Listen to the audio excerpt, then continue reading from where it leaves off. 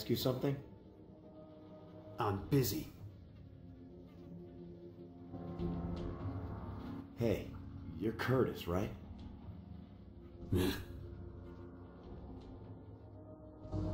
hey, man.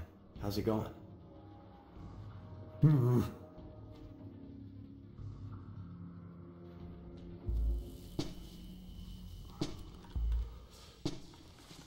Maybe this'll interest you.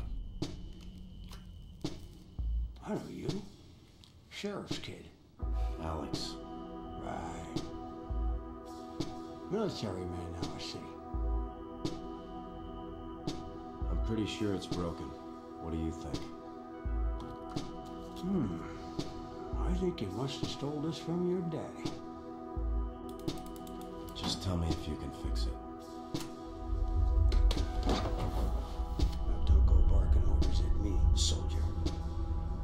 Person that tells me what to do is me. Got it?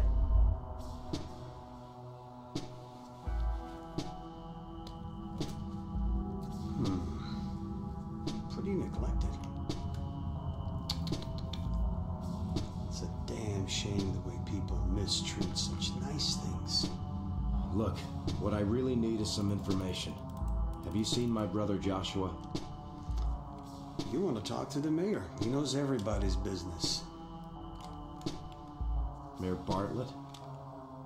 You know where I can find him? Sure. Same place he is every day. Digging up people's graves. You know, there's something seriously wrong with that guy. You know? Like in the head. That's Mayor Bartlett? Wonder all the streets are broken. Nobody around here gives a shit anymore. Yeah, I could fix it. Might take a little while, though. Keep it. It's yours. What's the catch? Consider it payment for your help.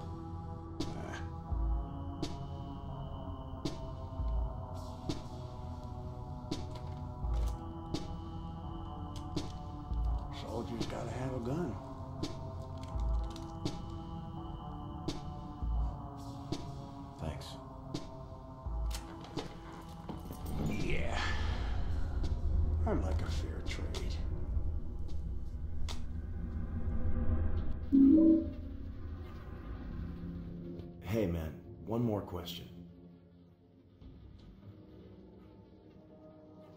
You know, this town is crawling with all sorts of crazy shit. Why are you still running a repair shop? Well, why do you think I'm carrying this thing around? What am I supposed to do? Pack up and leave so somebody else can come in here and steal my stuff? You're not too bright, are you? I see. You got a lot of clock parts in this place. There a reason? Yeah, there's a reason. For fixing clocks. Haven't you noticed that every single clock in this town is stopped at exactly 206? No, I hadn't. But then take a look around, son. Have you ever tried fixing them? Kid, I can fix just about anything you put in front of me. But I've never seen anything like this. There's no reason they're not working. It's like there's something causing it.